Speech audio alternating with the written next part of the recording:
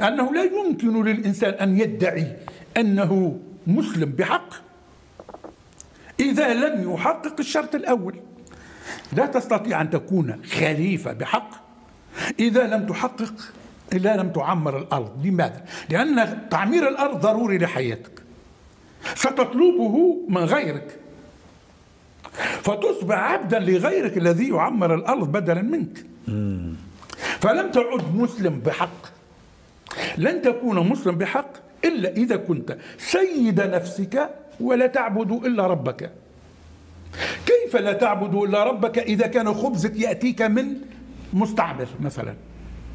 حياتك اليومية.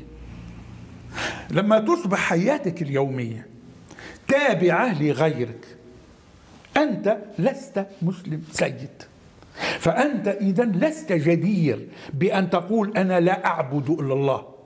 أنت صار بينك وبين الله سيد تعبده وتخافه أكثر من الله. تخاف الحاكم الذي يخاف حاميه المستعمر وينتهك حقوقك.